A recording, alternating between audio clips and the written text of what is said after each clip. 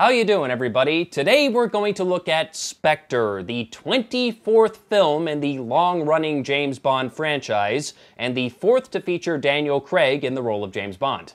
This movie picks up a little bit after where Skyfall left off, and Bond discovers a pre-recorded message from the former M, played by Judi Dench, instructing him to go after a certain target, which ultimately leads him to a mysterious criminal organization known as Spectre. After some digging, he discovers Spectre has ties to several people he has dealt with before, including Mr. White, who we saw at the very end of Casino Royale and also in the very forgettable Quantum of Solace. With the help of Mr. White's daughter, Madeleine Swann, Bond tracks down the leader of this mysterious criminal organization and discovers he has a much deeper tie to Spectre than he even imagined. Meanwhile, back at home, the UK's new national security chief is spearheading a worldwide surveillance program that he sees as a replacement for the outdated 00 program, because the future is with drones and cameras and not with agents. M is naturally not happy about this, as he doesn't like the idea of MI6 being replaced with a bunch of drones, and he puts his efforts into stopping the new security chief, as he suspects him of being an obvious bad guy due to the fact that he keeps acting like an obvious bad guy. Now, the James Bond movies, even the lesser ones, tend to be a lot of fun, and this one is no exception. It has some really good action sequences with plenty of cool stunts, and there's a really neat chase sequence involving an airplane that you may have seen glimpses of in the trailer. You have all sorts of exotic locales which are beautifully shot, and in fact, the entire movie is very well shot. They did bring Sam Mendes back to direct this, and after seeing his work with Skyfall, that was definitely a good call. I approve of this decision. The movie has a pretty good sense of humor as well. There's one scene very early on where Bond is falling off of this collapsing building and lands safely on a sofa, just happens to be there. Like, okay, why not? The movie isn't super heavy on the gadgets like a lot of earlier Bond films. Really, the only gadget that Q gives Bond is a watch, which has a, shall we say, a very loud alarm. Very loud. And that's really the only thing he's given, although he does borrow a beautiful Aston Martin DB10, a car that Aston Martin made specifically for this movie, I believe. And the car doesn't have a whole lot to it apart from being bulletproof, but it does have a flamethrower, and who wouldn't want an Aston Martin with a flamethrower? The opening title sequence was very well done, I thought. Um, the song by Sam Smith, I I thought it was okay, not one of the better ones in my opinion. I think it might have been a little bit better if Smith had used a bit less falsetto, but it was okay. And it might seem weird to mention something as simple as an opening title sequence, but really, if you think about it, how often do you see an opening title sequence in the movies nowadays?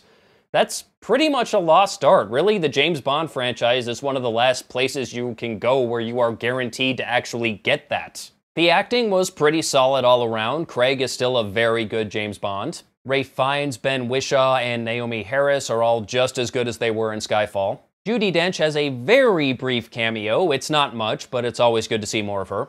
I really liked Léa Seydoux, I hope I'm saying her name right, as the new Bond girl. Very gorgeous, obviously, but also quite dangerous in her own right. Dave Bautista plays a Spectre assassin in this movie, and he is a scary motherfucker. Oh man, I really liked him in this. He, I think he only says one word of dialogue in the entire movie. The rest of the time, he's just very silently crushing people's heads, as silent as you can be while you're crushing someone's skull, I guess. Um, and he has a really cool fight scene on a train with Bond later on in the movie, in a scene that's kind of reminiscent of From Russia with Love, except cranked up to 11. And then we come to our villain, Christoph Waltz, as Ernst Stavro Blofeld, the leader of Spectre.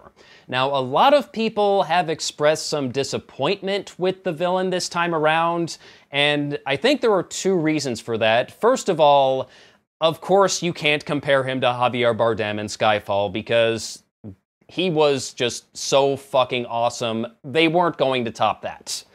And the second reason is Blofeld really isn't in enough of this movie to have as much of an impact as I think he could have. He is largely an absent villain, just kind of operating from the shadows. None of these are any fault of Waltz's, of course, and when he is on camera, he's a very good villain, and I think he did a very good job as Blofeld. He was certainly a better Blofeld than Donald Pleasence was, I can tell you that much. Um, although there is a bit of a nod to the Blofeld from You Only Live Twice towards the end of the movie. I'm not gonna give anything away, but if you've seen You Only Live Twice, you probably know what I'm getting at here. There were a couple of things about the story that I didn't really care for.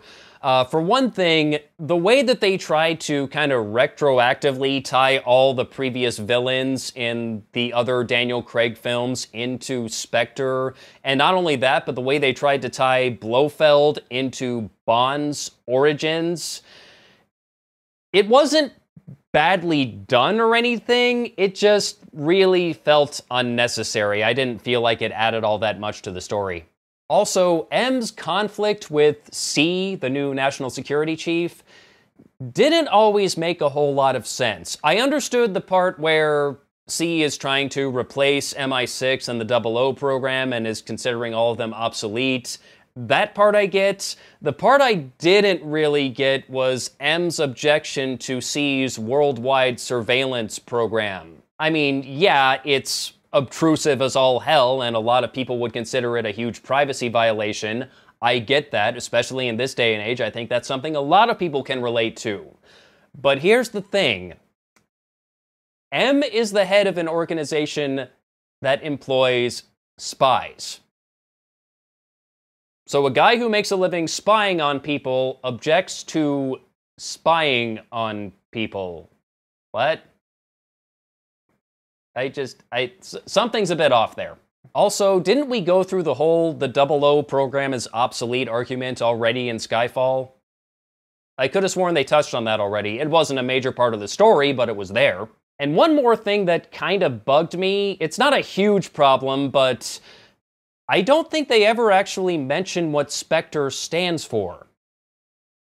I know what it stands for because I've seen all the previous Bond movies Special Executive for Counterintelligence, Terrorism, Revenge, and Extortion. But that's never mentioned in this movie, and I have no idea why. I'm not even sure if in the Daniel Craig Bond universe, Spectre does stand for anything, or if it's just something that Blofeld came up with because he thought it sounded cool. In the end, this is probably not one of the better Bond movies, but I still enjoyed the hell out of it, and if you're a Bond fan, this is definitely worth seeing. And if you're not a Bond fan, this is probably not going to convert you. And that's all I have to say about Spectre. So until next time, take care.